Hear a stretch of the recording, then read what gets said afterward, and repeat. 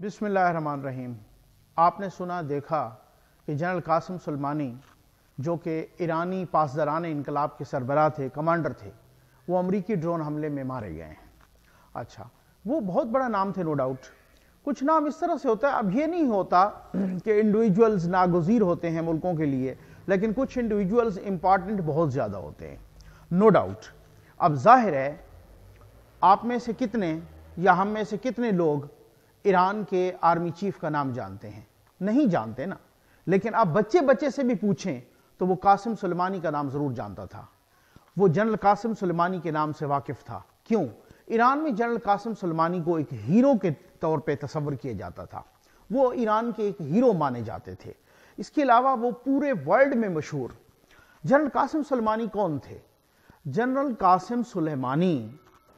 جب یہ ایران عراق وار ہو رہی تھی، اس وقت اس نے ایران کی ملٹری کو جوائن کیا۔ بہت ہی چھوٹی عمر میں جوائن کیا۔ اور یہ کہا جاتا ہے کہ جنرل قاسم سلیمانی کو صرف چھ مہینے کی ٹریننگ دے کے جناب وہ اتنے انتھوزیاسٹک تھے کہ ان کو بارڈر پہ بھیج دیا گیا۔ اچھا جب وہ بارڈر پہ گئے، وہاں سے وہ انہوں نے نام کمایا، وہاں سے وہ انہوں نے جوہر دکھائے اپنی لڑائی کے۔ پھر اس کے بعد آ جاتی ہے سیریا کی وار۔ سیریا کی وار میں وہ اس وقت سیریا کے صدر بشار الاسد کی مدد کو پہنچے کہ جب وہ بالکل ہار کے قریب سے شکست کے دہانے پہ تھے۔ جنرل قاسم سلمانی نے سیریا کی وار میں جب انٹرفیئر کیا، جب سیریا کی وار میں گئے تو وہ جنرل اپنا بشار الاسد کی دعوت پہ تو جنگ کا پانسا پلٹ گیا۔ یعنی النصرہ فرنٹ ہو یا کوئی اور ہو شکست فاش دے دی۔ اس کے بعد آپ آ جائیں عراق میں۔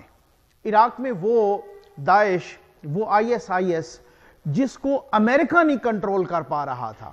جنرل قاسم سلیمانی جب اس داعش کے خلاف لڑے اور امریکن فورسز کی یوں سمجھ لیں کہ کولیبوریشن میں لڑے، اس وقت جنگ کا پانسا پلٹ گیا اور داعش کو منہ کی کھانی پڑی۔ القاعدہ کو منہ کی کھانی پڑی۔ جنرل قاسم سلیمانی کے پاس یوں سمجھ لیں کہ فرائض جس طرح سے امریکہ کا ہوتا ہے نا کہ باہر کی دنیا میں اس کے مفادات کا حفاظت کرنا، اس طرح سے ایران کی باہر کی دنیا میں مفادات کی حفاظت کرنا، وہ ایک بہت بڑے اسٹریٹجی میکر تھے، وہ بہت ایک اسٹریٹجک پلاننگ کیا کرتے تھے۔ آپ نے اکثر و بیشتر ان کی فوٹوز اور ویڈیوز میں دیکھا ہوگا کہ جناب وہ نیچے بیٹھ کے کچھ نہ کچھ نقشوں پہ، کاغذ پہ کھینچ رہے ہوتے تھے۔ وہ لائنیں لگا رہے ہوتے تھے، وہ انسٹرکشنز دے رہے ہوتے تھے۔ وہ بینیت دا سرفیس اکثر و بیشتر رہتے۔ کوئی بیس سال سے یعنی انیس سو اٹھانوے سے وہ جناب پاسدران انقلاب کے سربراہ بنے کمانڈر بنے ریولوشنری گارڈ اور اس کی خاص طور پہ جو القدس فورس تھی پاسدران انقلاب کی جو القدس فورس جو سیکشن تھا، اس کے وہ سربراہ تھے۔ اچھا یہ کو انیس سو اٹھانوے سے بنے۔ بیس سالوں سے امریکہ اور اسرائیل اس کو یعنی جنرل قاسم سلیمانی کو ہٹ کرنے کی پلاننگ کر رہے تھے۔ وہ متعدد حملوں میں بچ گئے۔ اور پھر اس کے بعد یہ بھی ہوا کہ دو ہزار چھ میں ایک حملہ ہوا، جناب بتایا گیا وہ اس میں جام بھاگ ہو گئے، اس میں بچ گئے۔ دو ہزار نو میں ہوا، اس میں بچ گئے۔ دو ہزار بارہ میں ہوا، اس میں بچ گئے۔ دو ہزار پندرہ میں ہوا، کہا گیا کہ جناب اس میں وہ بالکل ہی جام بھاگ ہو گئے ہیں تو اس ادھر ادھر کی بات نہیں ہوئی اس میں بچ گئے۔ بھر اب ایران نے اس کی اپنا تصدیق کر دی ہے، ان کی وفات کی، ان کے جا بحق ہونے کی۔ لیکن اب مسئلہ یہ ہے، خود آپ پہلے آپ آ جائیں امریکہ پہ۔ خود آپ امریکہ میں دیکھ لیں کہ جو اب آج آپ نے خود آپ نے بھی سوشل میڈیا دیکھا ہوگا، ہم نے بھی دیکھا، باقی تمام لوگ بھی دیکھ رہے ہیں۔ ابھی تک تمام پوری دنیا میں جو ٹاپ موسٹ ٹرینڈ ہیں، وہ جناب سلیمانی، قاسم سلیمانی اس قسم کے پاسداران انقلاب ورلڈ وار تھری، اس طرح کے وہ ٹرینڈ چل رہے ہیں۔ خود امریکہ میں ٹرمپ کی جناب امپیچمنٹ ہو رہی ہے اور اس سے پہلے بھی جب امپیچمنٹ ہو رہی تھی کن کی؟ بل کلنٹن کی۔ انہوں نے عراق پہ حملہ کر دیا۔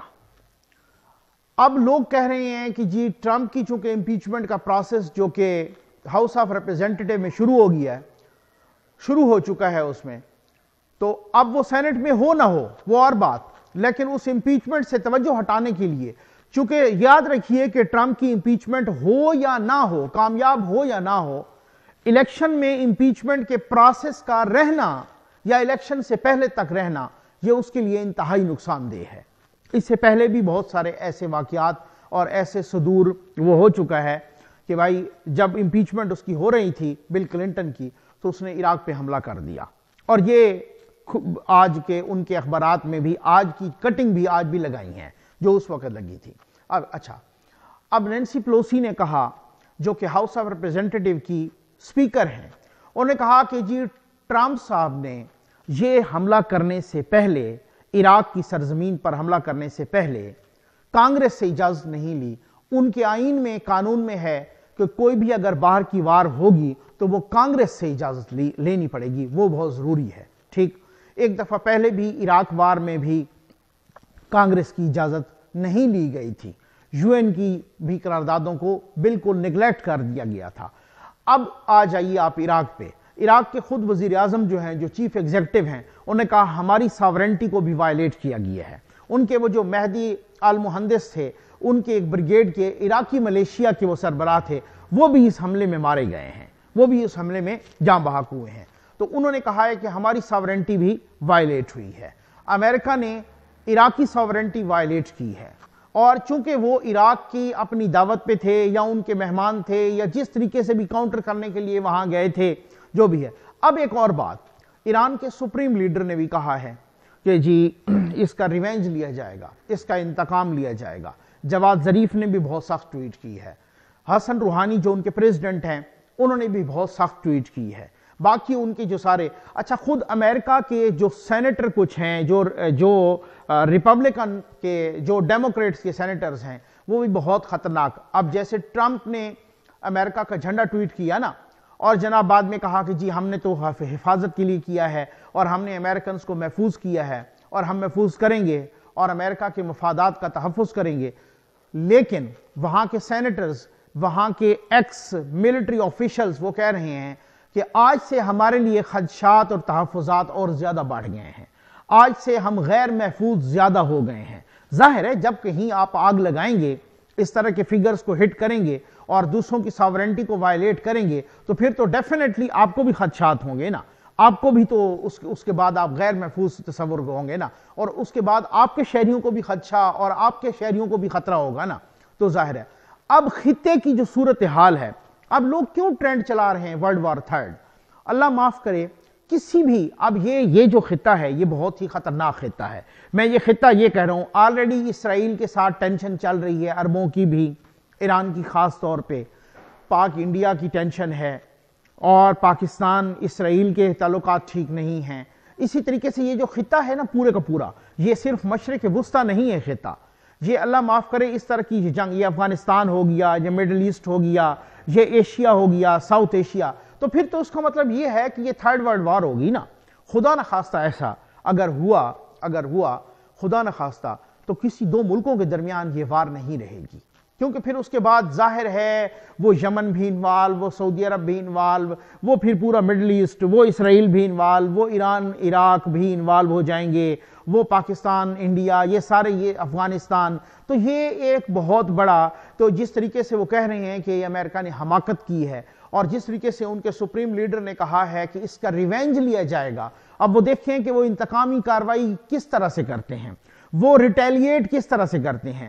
کیونکہ سچویشن کو ایسکلیٹ کر دیا ہے، قاسم سلیمانی کو امریکہ نے ہٹ کر کے۔ امریکہ کے امریکہ کے لیے قاسم سلیمانی ایک ڈراؤنا خواب تھا۔ امریکہ کے لیے قاسم سلیمانی ایک ہوا تھا۔ امریکہ کو باہر کی دنیا میں یعنی کہ آپ یوں سمجھ لیں کہ اس خطے میں امریکہ کے لیے ایک ڈراؤنا خواب اور امریکہ کو، امریکہ کی نیندیں حرام کرنے والا تھا قاسم سلیمانی۔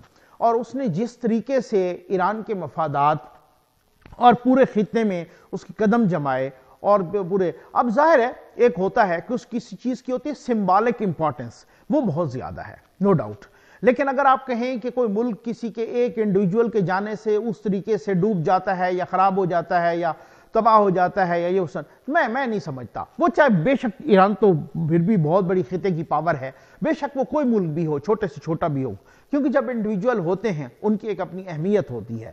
وہ اسٹریٹیجک لحاظ سے بہت زیادہ اہم ہوتے ہیں۔ لیکن جب وہ جاتے ہیں، تو اپنے، اب اس کے بعد جو بریگیڈیئر بریگیڈیئر جنرل اسماعیل خانی کو منتخب کیا گیا ہے اور لگایا گیا ہے پاسداران انقلاب کا سربراہ تو پھر ڈیفینیٹلی جو ان سے پہلے بھی تھے، وہ بھی ان کے بارے میں کہا جاتا تھا کہ وہ بہت زیادہ، انہوں نے بھی، ان کا بھی سٹیٹمنٹ ہے کہ جی اس کا بہت زیادہ خمیازہ بھگتنا پڑے گا امریکہ کو۔ تو اب دیکھیں، ہمیں سب کو تو بھائی دعا کرنی چاہیے کہ اللہ کرے کہ خطے کا امن بحال رہے، اللہ کرے اس طرح کی حماقتیں نہ ہوں، اللہ کرے خداوند کریم امن امن اس خطے میں لائے، سب کی خیر ہو۔ کیونکہ جب جنگ کے شعلے ہوتے ہیں نا، تو پھر یہ وہ ٹریڈیشنل وار نہیں ہے۔ اس کا نہ زمانہ ہے نہ اس کا رواج ہے، نہ ٹریڈیشنل وار کا آج کل وقت ہے۔ یہ پھر اٹامک وار ہو جاتی ہے اور یہ بہت ہی خطرناک صورت اختیار کر لیتی ہے۔ اللہ تعالی ہم سب کی حفاظت کرے۔ آمین۔